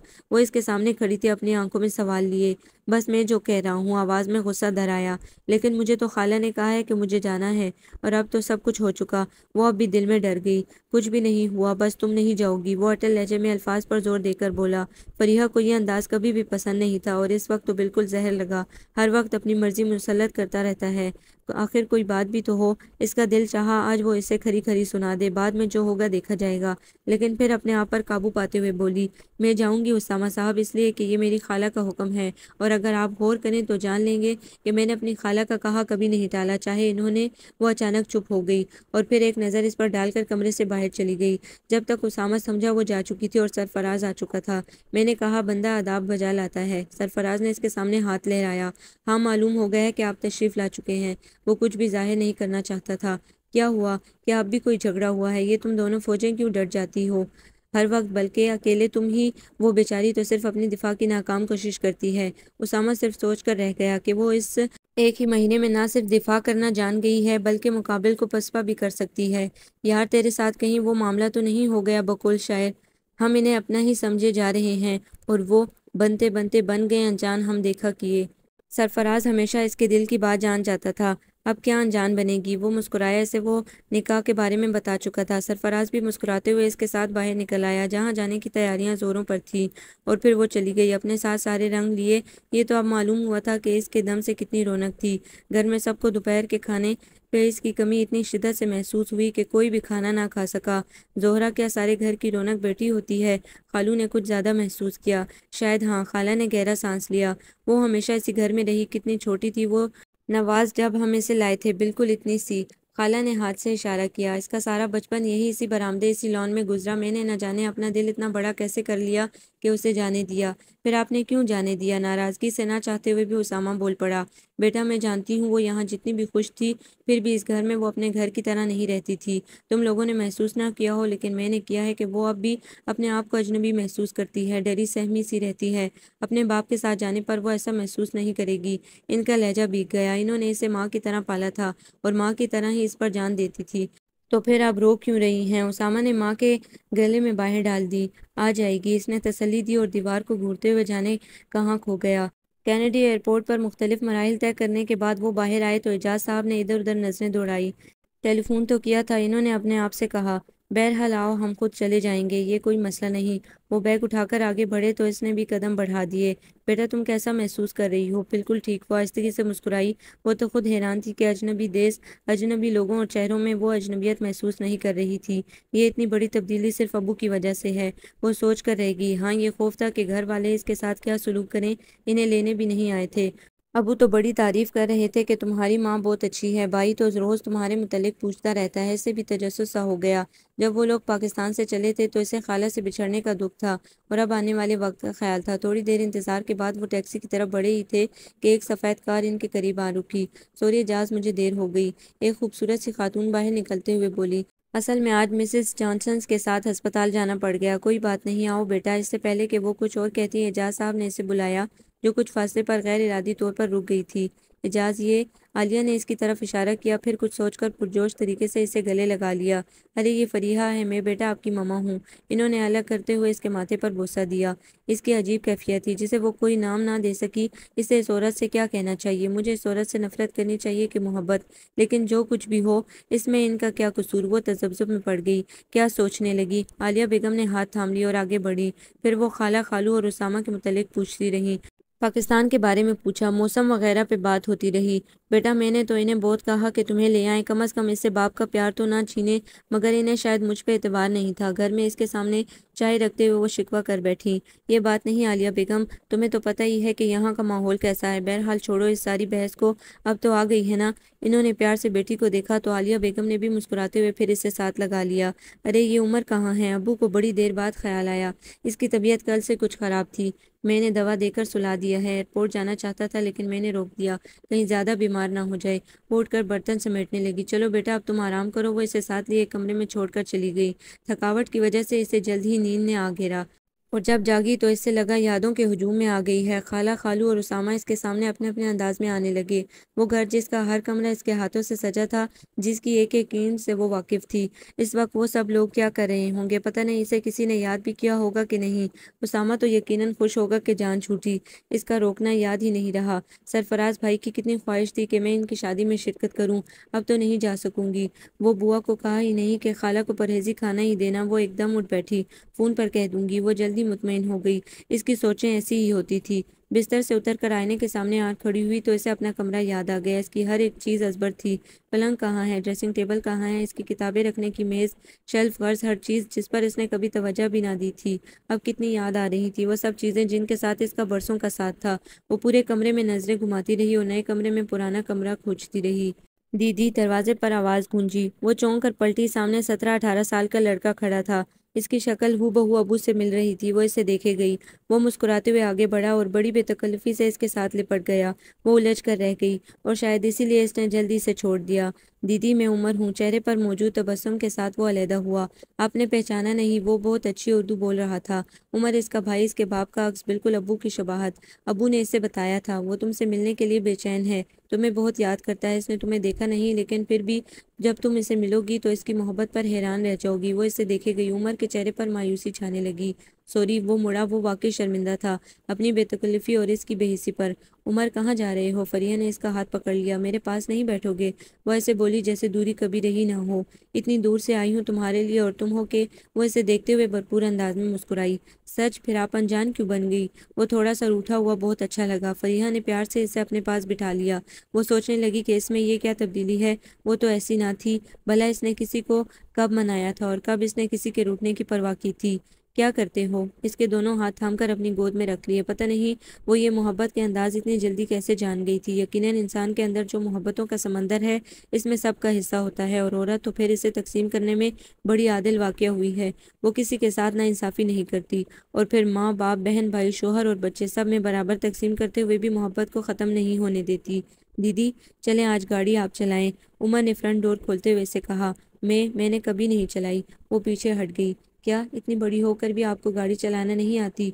उमर के लिए हकीकतन हैरत की बात थी। चले, कोई बात नहीं, मैं सिखा देता हूँ। इसे तसल्ली दी और फिर उमर ने इसे बहुत कुछ सिखा दिया। वो सिर्फ़ अपने रवैयों पर हैरान थी, लेकिन वक्त ने जो करवट ली तो इसे बदलता चला गया। अब वो हर एक बात पर क्या हैरान होती रहती, इसीलिए ज़िंदगी ने इसे हैरान होने का मौका ही नहीं दिया। बात सुनो उमर, तुम मुझे दीदी ना कहा करो। एक दिन वो कह ही बैठी, क्यों? वो कुमार तो अपनी बहन को दीदी कहता है। कौन कुमार? मेरा हिंदुस्तानी दोस्त करीब ही रहते हैं, आपको ले चलूँगा कभी। लेकिन वो हिंदुस्तानी है, इसलिए दीदी कहते हैं। पाकिस्तान में बड़ी बहन को दीदी नहीं कहते तो फिर क्या कहते हैं? वो उलझ गया। बाजी, आपा, आपी और पता नहीं क्या कुछ। वो खुद भी इतनी लंबी ड्राइव से थकी हुई थी। तो फिर मैं आपको क्या कहूँ? जो भी पसंद हो, इसने फराक दिली दिखाई। ठीक है, मैं फिर आपको आप ही कहूँगा। क्यों? ठीक है ना? ठीक। वो खुश होते हुए बोली उमर ने इसे अपने तमाम दोस्तों से मिलवाया तो इसे यूनिवर्सिटी वाला वाकया याद आ गया। वो कितनी नर्वस हो गई थी उस दिन। इसे अपने आप पर हँसी आने लगी। अब वो बड़े एतमाद से सबसे बात कर रही थी। इसे कोई खौफ या घबराहट महसूस नहीं हुई। और फिर ममा इसके साथ थी। उमर इसे हर जगह पर टोकता। क्या है, आप ही? वो भी हमारी तरह इंसान है। गलती हो गई तो खा थोड़ी जाएँगे। और फिर हर किसी से गलती हो जाती है। इंसान जो है वो अपने अंदर के खौफ को ज़ाहिर करती तो वो इसे हज़ारों दलीलें देता। आखिर वो इससे मनवा लेता। मम्मा इससे कहती, बेटा तुम खुद बाज़ार जाया करो ताकि तुम्हें मालूम हो यहाँ वक्त की अहमियत, और फिर बेटा तुम कुछ चाहिए तो अपनी पसंद से लो हर चीज़। वो इससे बेच देती। ये एक अलग सवाल है कि मोहब्बत ज़रूरत है या कि ज़रूरत मोहब्बत? नोयत कोई भी हो, ज़रूरत और मोहब्बत दोनों इंसान को पुरमाद बना देती है। वो कभी कभी खुद हैरान होती कि वो क्या थी और क्या हो गई है। उस दिन भी वो बाज़ार से गुजरी तो इसे उसामा याद आ गया। इसके अल्फाज गूंजे तो वो मुस्कुरा दी। कितनी डरपोक थी मैं।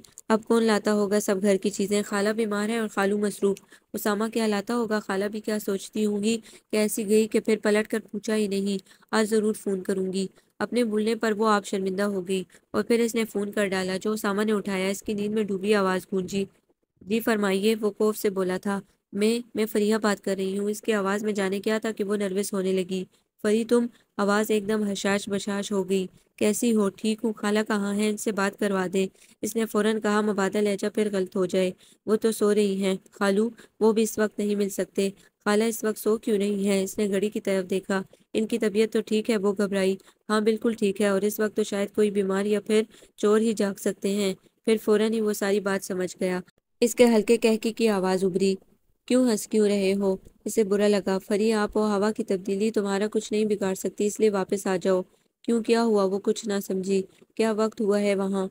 चार पच्चीस। और जनाब, पता है यहाँ क्या वक्त है? यहाँ रात का एक पच्चीस हुआ है। क्या? वो चौंकी। हाँ हाय फरी, वहाँ के लोग पाकिस्तानियों के बारे में क्या सोचते होंगे? अब इन्हें क्या पता कि तुम अपनी नोयत का वाहिद पीस हो। वो आगे भी कुछ कह रहा था, लेकिन फरिया ने फ़ोन रख दिया। या अल्लाह, क्या उस शख्स के सामने मैं ऐसी ही रहूँगी? वो वाकई परेशान हो गई। ढेर सारे दिन गुजर गए। इस मसरूफ़ दुनिया में कोई भी मसरूफियत ना होने के बावजूद इस वक्त इसे गुजरने का एहसास ना हुआ। वो सब कुछ बुलाना चाहती थी और शायद बुला बैठी थी एक दिन एजाज साहब ने इसे अपने पास बुला लिया। जी वो इनके सामने वाले सोफे पर बैठ गई। बेटा, तुम्हारी खाला का फ़ोन आया था। अच्छा मुझसे बात नहीं की इन्होंने। अव्वल तो तुम सो रही थी और दूसरा इन्होंने फ़ोन मुझे किया था। बात मुझसे करनी थी। अच्छा इसने अच्छा को कदरे खींचा। इन्होंने बुलाया है तुम्हें अपनी बहू की हैसियत से। एजाज साहब ने इसके चेहरे पर नज़रें काट दी। जहाँ एक लम्हे के तगैर के बाद चेहरा अपनी असल हालत में आ गया, मगर जवाब इसने कोई ना दिया। बेटा, अगर तुम्हें ये रिश्ता पसंद नहीं तो तुम इनकार कर सकती हो। मैं तुम्हारे साथ हूँ। इन्होंने पूरा इख्तियार इसे सौंपा। वो फिर भी खामोश रही। वो नहीं जानती थी कि इसे क्या कहना चाहिए। मैं दो टोक बात करने वाला आदमी हूँ। मुझे नहीं मालूम कि तुम्हारी खामोशी इनकार है या कि इकरार। थोड़ी देर इंतज़ार के बाद इन्होंने फिर कहा, बोलो बेटा इसरार फिर हुआ। अबू, मुझे क्या कहना चाहिए? इसने सर उठाया, जो तुम्हारा दिल चाहे।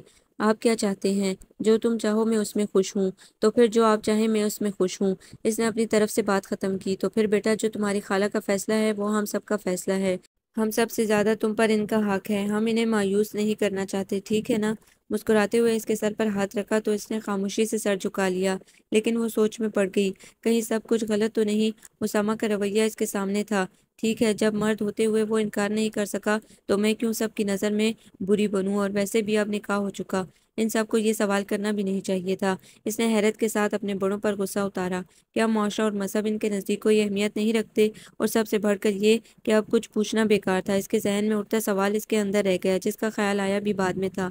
अब इसकी वापसी की तैयारियाँ शुरू हो गई। इन तैयारियों की शादी की तैयारी तो नहीं कहा जा सकता था अलबत् जहाँ तक मुमकिन था आलिया बेगम इसके लिए कर रही थी। ममा आप कहाँ मसरूफ़ हो गई? इतना कुछ करने की कोई ज़रूरत नहीं और वैसे भी मैं अकेली जा रही हूँ, सब कैसे ले जाऊँगी? इसने चीज़ों की तरफ़ इशारा किया। कोई ज़्यादा नहीं। और फिर वो लोग तुम्हें लेने आएँगे। ममा आप भी मेरे साथ चलें। इसने मोहब्बत से इनके हाथ थाम लिए। आलिया बेगम ने मोहब्बत भी इतनी दी थी इसे कि अब वो अफसरदा हो गई। हाँ बेटा, हम लोग भी आ जाएँगे। ज़रा ये उम्र फारिग हो जाए और फिर मेरी दुआएँ तुम्हारे साथ हैं। इन्होंने इसे अपने साथ लगा लिया। ममा मैं उदास हो जाऊँगी। इसने खदशा ज़ाहिर किया। बेटे, जैसे तुम वहाँ से आकर उदास हो गई थी और फिर ठीक हो गई। इसी तरह बल्कि वहाँ बहुत ज़्यादा मोहब्बतें तुम्हारी मुंतजर हैं। एक बात तो बताओ, उसामा कैसा लड़का है? इन्होंने अचानक सवाल किया। लो जो बात पहले पूछने वाली थी, इससे अब पूछी जा रही है। इसे गुस्सा आ गया। जैसे होते हैं वैसे ही हैं। दो आँखें, एक नाक लंबा सा कद और सर पर बाल भी हैं। मम्मा मुस्कुराने लगी। अच्छा फिर तो अच्छा खासा बंदा हुआ कि सर पर बाल भी हैं। मम्मा मसनू हैरत से बोली तो वो शर्मिंदा हो गई। एजाज साहब ने कुछ पाकिस्तानी घरानों को बुलवा लिया था। इनका बड़ा दिल चाहता था कि वो अपनी बेटी की शादी धूमधाम से करें और इन्होंने सोच भी रखा था कि पाकिस्तान जाकर शादी करेंगे। लेकिन अचानक प्रोग्राम तब्दील हो गया। अब इन्होंने अपने घर में ही कुछ दोस्तों को दावत दी थी। रात गए तक हंगामा रहा। खातन ने मिलकर इसे मेहंदी लगाई। ममा ने पीला जोड़ा इसे पहले ही पहना दिया था। अभी ये सब क्या है? उमर ने इसके हाथों की तरफ़ इशारा किया। इसके लिए ये बिल्कुल एक नया तजुर्बा था। मेहंदी है, इसकी बजाय ममा ने जवाब दिया। इसकी खुशबू कितनी अच्छी है, इसे लगाने से क्या होगा? हाथों पर रंग चढ़ेगा। ममा ने मेहंदी ठीक करते हुए कहा, आप ही मुझे उतार कर दिखाएँ, रंग चढ़ा है? इसने जिद की तो ममा ने इसे सख्ती से मना किया। नहीं उतारो, उमर सब खराब हो जाएगी। वो मुँह बनाकर रह गया। अजीब शादी है, दुल्हन जा रही है अपने शोहर के पास, रात को बिस्तर पर सोते हुए इसकी दिमागी रूह बहकी मैं क्यों जा रही हूँ? क्या वो मेरा इस्तेबाल दुल्हनों की तरह करेगा? क्या इसके दिल में मेरे लिए बीवी जैसी कदर होगी? और और हो सकता है वो इस बात पर भी मुझे जलील करे कि खुद आई है, वो उठ कर बैठ गई। वो तो कुछ भी कर सकता है, कुछ भी कह सकता है। नहीं, मुझे इनकार कर देना चाहिए। ये ठीक है, सारी ज़िंदगी ख्वार होने से बेहतर है कि अभी मैं अबू को कम अज़ कम बता ज़रूर दूँ कि वो ऐसा है, बाद में मुझ पर ही इल्ज़ाम आएगा कि पहले क्यों नहीं बताया। फैसला करते हुए घड़ी की तरफ़ देखा और फिर सुबह बात करने का सोचकर सो गई। इसलिए कि इसे भी अब यकीन था कि वो भी देर कर चुकी है। बहरहाल, अब तो सिर्फ़ बताना ही था कि उसामा का इसके साथ सलूक कैसा रहा है। रात भर इसे डरावने किस्म के ख्वाब आते रहे। इंसान का अंदर भी हैरान कन चीज़ है। खौफ में खुशी या इतमान का डर हो ना हो इतमान में ज़रूर एक खौफ दामन घेर रहता है। और इसे तो खुशी से पहले ही खौफ खाए जा रहा था। सारी रात वो ठीक से ना सो सकी, इसलिए सुबह तबीयत बोझल बोझल सी थी। अब उसे बात करने के बारे में इसने सोचा और थोड़ी देर पर टालते टालते काफ़ी देर गुजार दी। चूँकि इस वक्त जब मम्मा ने उठकर तैयारी करने को कहा, फिर वो बाथरूम से निकली तो मम्मा तमाम सामान समेत मौजूद थी। इन्होंने इसे तैयार कर दिया। सुर्ख सूट पर अच्छा खासा काम था। दुपट्टा तो बहुत भारी था और ऊपर से इतना गहरा मेकअप और जेवर, वो उलझ गई। मम्मा, ये सब पहन कर जाऊँगी। दोनों हाथों से दुपट्टे को फैलाते हुए इसने हैरत ज़्यादा लहजे में कहा हाँ दुल्हन ससुराल कैसे जाती है? मम्मा ने दुपट्टे को पिनअप करते हुए कहा, लेकिन मम्मा, इसके तस्वर में फ़ौरन ही इस पर हँसते हुए मुसाफिर याद आ गए। वो ये सब कुछ पहनकर सफ़र कैसे करती? नहीं मम्मा मैं ये सब नहीं पहनूँगी। वो दुपट्टा उतारने की कोशिश करने लगी। अरे पागल, तुम्हारे अबू ने कुछ लोगों को बुलाया है। ऐसे ही हल्का फुल्का सा फ़ंक्शन है। जब जाने लगोगी तो कोई सादा सूट पहन लेना। और फिर बेटा, और लोगों की तरह मेरी भी बहुत ख्वाहिश है कि मैं अपनी बेटी को दुल्हन बने देखूँ। इन्होंने इसके माथे पर बिंदिया ठीक करते हुए प्यार से देखा तो इसने सर झुका लिया। मैं सबकी खुशियाँ मान नहीं करूँगी। मेरे बारे में हमेशा वक्त ने फैसला किया है और अब भी मुझे इसी का इंतज़ार रहेगा। अबू से कुछ भी कहने का इरादा इसने तर्क कर दिया। मम्मा मेरा पासपोर्ट और टिकट कहाँ है? मैं बैग में रख लूँ। इसे अपनी तरफ़ से बड़े वक्त पर ख्याल आया। तुम्हारे अबू के पास है, आ जाएँ तो ले लेना। अब चलो, लोग इंतज़ार कर रहे हैं। वो इसका हाथ थाम कर बाहर ले आई। वो सोफे पर बैठ गई। थोड़े से लोग थे, कुछ हिंदुस्तानी भी थे और अंग्रेज़ भी। वो सबसे बातें करती रही। मम्मा मसरूफ़ थी, लेकिन इसे पूरा एहसास था। वो बार बार दीवार पर लगे क्लॉक की तरफ़ देखती। जब काफ़ी देर गुजर गई तो वो मम्मा के पास चली आई। मम्मा, मैं कपड़े बदल लूँ? देर ना हो जाए। अभी थोड़ी देर रुको, इतनी क्या जल्दी है? लेकिन मैं बहुत थक गई हूँ। ऐसे सच सच कर इसने बुरा सा मुँह बनाया। ऐसे नहीं तो फिर कैसे सच दज कर बैठते हैं? वो मुस्कुराई और वो शर्मिंदा हो गई। बस मैं तब्दील कर रही हूँ, वो मुड़ी। नहीं बेटा, थोड़ी देर और बस, फिर बदल लेना। बेशक अच्छा ऐसा करो। अगर घबराहट हो रही है तो अंदर उमर के पास चली जाओ। वो बहुत उदास हो रहा है। ओह, मुझे तो ख्याल ही नहीं रहा कि वो कितनी देर से नज़र नहीं आया, वो खुद भी उदास हो गई। फिर वो उमर के कमरे में चली आई, वो मुँह लटकाए बैठा था, इसके, इस तरह बैठने पर बहुत दिलचस्पी से इसे देखने लगा। इसने इससे पहले ऐसे दुल्हन नहीं देखी थी। चलो, उमर कैरम खेलते हैं, वो इसके देखने से अजीब महसूस कर रही थी। कैरम, आप अच्छा खेलती हैं? वो उठते हुए बोला, वो कुछ बेहतर मूड में था। हमें दुआएँ दो। दरवाजे से आती आवाज़ पर इन दोनों ने चौंक कर देखा, और फिर वो तो देखती ही रही। नहीं, ये ख्वाब तो नहीं था, हकीकत थी। सामने उसामा खड़ा मुस्कुरा रहा था। इसे अपनी आँखों पर यकीन नहीं आया। ये सब इसने अपने ऊपर निगाह की। इधर उधर देखा, बिल्कुल उमर का ही कमरा था। उमर भी मौजूद था। इसने सूट भी वही पहन रखा था जो सपैर को पहना था। फिर वो भी तो इससे देखे ही चला जा रहा था। कितना याद आई थी वो इस सरसे में। फरी, उसामा के सिर्फ़ लब हिले। इसने अपनी उंगली दांतों में दबाकर ज़ोर लगाया और फिर हुई की आवाज़ के साथ उंगली को देखने लगी। पुरानी आदतें ना गई, वो भी शायद सैरजदा माहौल से निकल आया था। अम्मी का ख्याल था कि यहाँ वो आगे भी कुछ कहता कि उमर इसकी तरफ़ बढ़ा। आप कौन हैं? मैंने पहले नहीं देखा आपको। उमर ने मुसाफा के लिए हाथ बढ़ाया। कोई बतलाए इन्हें कि हम बतलाएँ क्या? वो फरिया की तरफ़ देखकर शरारत से मुस्कुराया और जब इसकी तरफ़ से जवाब ना मिला तो उमर का हाथ थाम कर बोला भई हम बारात हैं। बारात समझते हो, इसमें एक दूल्हा होता है, हम वो हैं। बारात दूल्हे के बगैर नहीं होती, मगर दूल्हा बारात के बगैर होता है, सो हम हैं। इसने अपने ऊपर ज़ोर देकर कुछ इस तरह समझाया। मगर उमर का चेहरा बता रहा था कि इसकी समझ में ना बात आई और ना अंदाज और बात करने वाले के बारे में भी शौकी सा था। फरीहा को हैरत ही नहीं, बल्कि दुख हुआ कि वो एक हफ़्ते से आया हुआ था और इसे किसी ने नहीं बताया। पहले ही वो सोचती रही थी कि अचानक पाकिस्तान जाने का प्रोग्राम कैसे ख़त्म हो गया। इसे ममा से भी शिकायत होने लगी, वहीं बता देती, रुखसत करने ममा और अबू दोनों दरवाजे तक आए। वो गाड़ी की पिछली सीट पर उसामा के साथ बैठी थी। होटल के सामने कार रुकी तो उसामा ने इसे उतारने में मदद के लिए हाथ बढ़ाया, जिसे नज़रअंदाज करते हुए वो खुद बाहर आ गई और वो मुस्कुराकर ड्राइविंग सीट पर बैठे शख्स का शुक्रिया अदा करने लगा। जब फरीहा ने जीने की तरफ़ कदम बढ़ाए तो बहुत सी हैरत भरी हुई नज़रें इसकी तरफ़ उठी। उसामा तो थ्री पीस सूट में बहुत वकार के साथ चल रहा था, मगर इसका सुर्ख सूट और इस पर बिंदिया, भारी जेवर, मेकअप और जाने क्या कुछ था? वो नर्वस होने लगी इसे गुस्सा भी बहुत आ रहा था। उसामा ने एक नज़र इसे देखा और बाजुओं से थाम कर अपने करीब कर लिया और फिर कंधे पर हाथ रखकर पूरे तहफ़ का एहसास दिलाते हुए चलने लगा। मुझे अफसोस है, तुम्हारे इस्तकबाल के लिए यहाँ कोई नहीं, लेकिन मैं पूरी कोशिश करूँगा कि कोई तकलीफ़ ना हो। कमरे में पहुँच दिलचस्पी से देखते हुए हंसकर कहा, वो आहिस्ता आहिस्ता चलती हुई बैठ के किनारे पर बैठ गई। इसे इस लिबास में जो उलझन हो रही थी, वो उसामा के कुर्ब की उलझन से भी ज़्यादा थी। तुम लिबास तब्दील कर लो, मैं अंकल को बता दूँ। वो फ़ोन की तरफ़ बढ़ा और वो जल्दी से अपने छोटे से बैग से जो मम्मा ने आते हुए साथ दे दिया था, नाइटी निकाल कर बाथरूम में चली गई। और जब उसामा लिबास तब्दील करके निकला तो रुक गया। वो हल्के गुलाबी रंग की नाइटी में बाल खोले खड़ी थी।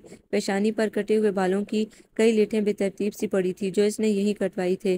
चेहरा धुलने के बावजूद होंठों पर हल्की लिपस्टिक और आँखों का काजल कदरे फैलकर आँखों को और कयामत कर गया था। तकिया बाहों में लिए, वो शायद जगह मुंतखब कर रही थी, इसे देखकर ठटकी ज़रूर, लेकिन तलाश जारी रखी। वो चंद लम्हे से देखता रहा और फिर अपने हाथ में लिए कपड़ों को सोफे पर डालते हुए इसकी तरफ़ आहिस्ता कदमों से बढ़ा। ये सब नहीं चलेगा। इसने तकिया लेकर बेड पर फेंका और दोनों हाथ सीने पर बांधे, इसके मुकाबले आ खड़ा हुआ। तुम्हें जो शिकवा, जो गिला है, मुझसे अभी कर लो। मैं मजीद कोई भी दिन इस एक साल, तीन माह और तेरह दिन की तरह नहीं गुजार सकता। क्या?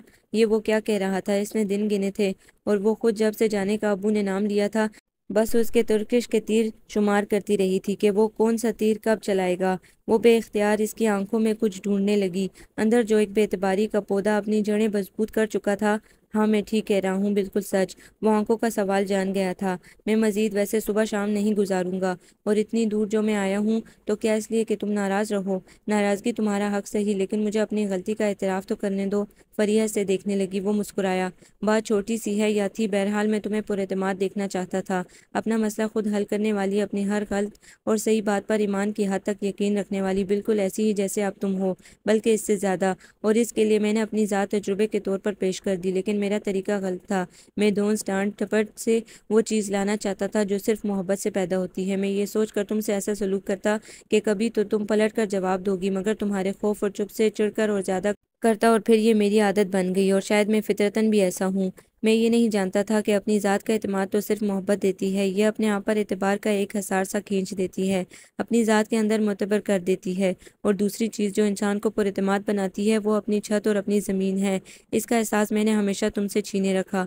और जब दिया तो अंकल पहुँच गए, वो तुम्हें ले आए, वो खामोश हो गया, वो तो बस चुपचाप इसे देखे जा रही थी। और और अगर मेरी बात पर यकीन करो फरी तो मैं कहूँ कि तुम्हारे आने के बाद उदास तो सब ही हुए, लेकिन मैं मैं वो इसके चेहरे से नज़रें हटाकर इधर उधर देखने लगा। अच्छा छोड़ो, इधर आओ। इसका हाथ पकड़कर पलंग तक ले आया और फिर इसे बिठाकर खुद भी करीब बैठ गया। अब इसका मतलब तुम ये भी ना लेना कि मैंने तुम्हें चाहा नहीं। इसका सबसे बड़ा सबूत तो यह है कि मैं किसी की तरफ़ कभी नहीं बढ़ा हूँ, बल्कि अपनी तरफ़ भी किसी को नहीं आने दिया। और सबसे बड़ी बात यह है कि मैंने तुम्हें कहीं नहीं जाने दिया। इसीलिए तो जब निकाह से पहले अम्मी तुमसे पूछने लगी तो मैंने मना कर दिया। मुझे मालूम था कि अव्वल तो तुम इनकार करोगी नहीं, और अगर कर भी दिया तो कोई जवाज़ ना होगा। और इनकार भी तुम मेरी वजह से नहीं, अपनी खाला की वजह से ना करती, जो तुम आते हुए जता आई थी। वो इसकी तरफ़ देखकर बोला, वो थोड़ा सा सटपटाई, उसामा संजीदा रहा। ये सब तुम्हारा हक था। और तुमने कहा, मगर मुझे इन अल्फाज से ही अंदाज़ा हुआ कि मैं गलती पर था। बाप की मोहब्बत दो दिन में तुम्हें अपने हसार में ले चुकी थी। तुम एक ऐसे किले में बंद होने लगी जहाँ तुम लड़ती नहीं, मगर बंद रह कर भी महफूज हो सकती थी। और और मैं तो तुम्हें अपने अंदर महफूज कर चुका था। बाहर निकालना मुश्किल ही नहीं, नामुमकिन था। इसीलिए तुम्हारे यहाँ आने की मुखालफत की, लेकिन ना रोक सका। अम्मी भी यही चाहती थी ना, और फिर तुम खुद वहाँ से इस माहौल से ना सही मुझसे ज़रूर भागना चाहती थी। क्योंकि मैंने तुम्हें चाहा था, सराहा नहीं था। फैसले का हक मैं अब तुम्हें नहीं दूँगा कि तुम्हारे पास जवाज नहीं है और मेरे पास हौसला।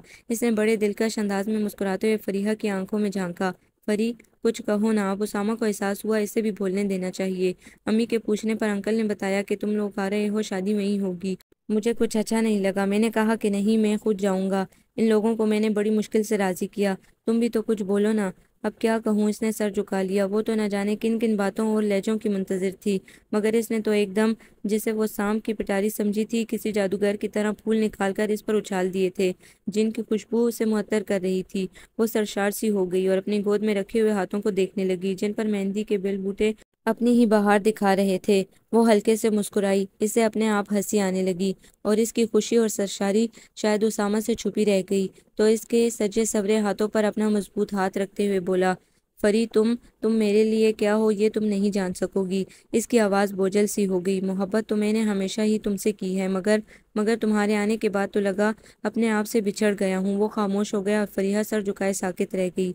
अगर एतराफ़ से राज़ी नहीं हो तो माफ़ी मांगूँ। गहरी संजीदगी से झुक कर इसकी आँखों में देखने की कोशिश की तो फरीहा ने एकदम पलकों की झालर को उठाकर इसे देखा। नहीं, इसकी ज़रूरत नहीं। तुम्हारे एतराफ़ में ही नबे फ़ीसद माफ़ी है। कोशिश के बावजूद इसके लब मुस्कुरा दिए। अच्छा तो बात यहाँ तक पहुँच गई। है। उसामा ने गहरा सांस लेते हुए भरपूर कहका लगाया, बड़ी तब्दीली है भाई। वो कुछ खजल सी होकर हाथ छुड़ाकर भागने लगी, मगर नाकाम हो गई। उसामा ने इसके हाथों को होंठों से छूते हुए बड़ी बेबाक नज़रों से इसे देखा तो तमाम खूबसूरत रंग इसके चेहरे पर फैल गए। शुक्र है अबू से कुछ कहा नहीं, क्योंकि वक्त ने बहुत ही प्यारा फैसला कर दिया था। इसने एक भरपूर निगाह उसामा पर डाली और मसरूर को एहसास के साथ सर झुका लिया। आपको ये नावल कैसा लगा? कमेंट्स में अपनी राय ज़रूर दें। हमारे चैनल को लाइक करें, सब्सक्राइब करें, शेयर करें।